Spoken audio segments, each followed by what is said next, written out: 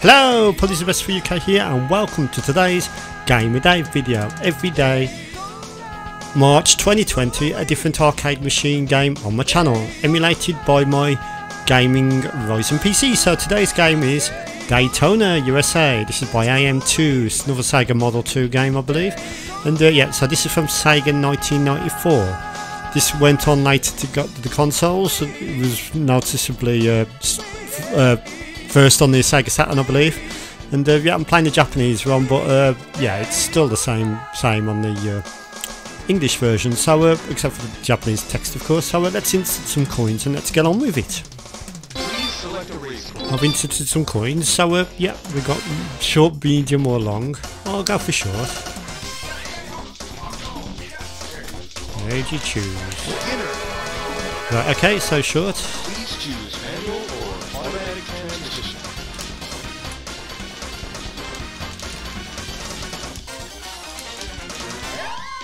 Hmm. Okay, so automatic transmission.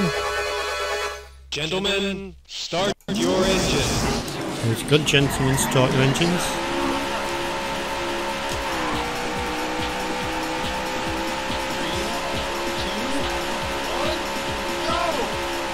And they're underway.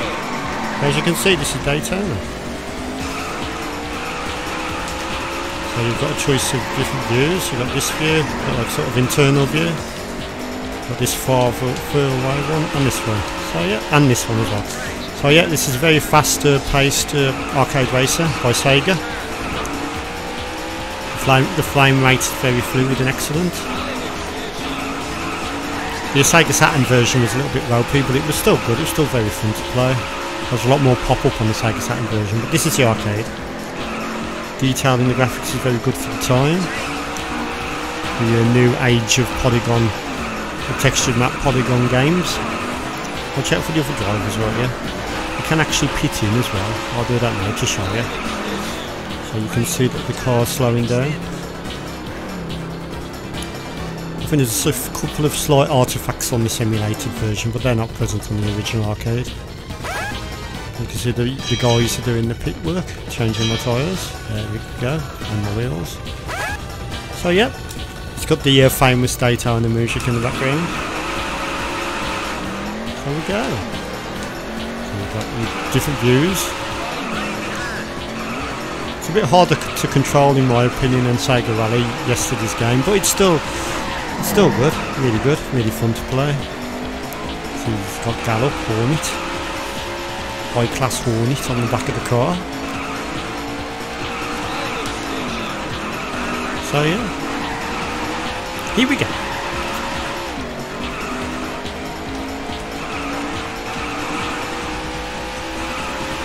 So these sort of arcade races were fun back in the day. Oh, you fuck! Whoa, where did he come from? Oh, you've Bruner. Check your position. Oh shit, one at a time. You placed 40th. 40th.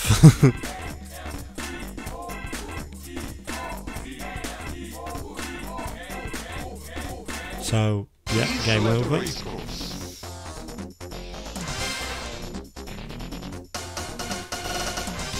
Right, okay, so I'm going to try. No, I don't want to do that. Let's try uh, the service menu and uh, uh, game system. Yeah, so you've got a service menu on here.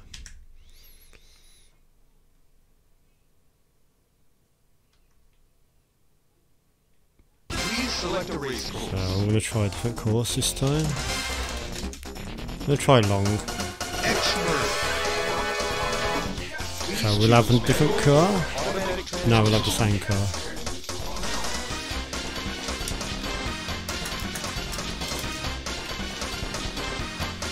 Automatic. Gentlemen, start your engines. So as you can see, this is the other track, another track on the game.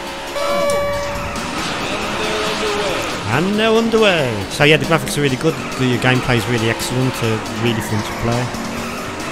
Good in the arcades because you've got your sit-down cabinet with your steering wheel. I think some of them are multiplayer as well, where you have two players, two cabinets next to each other.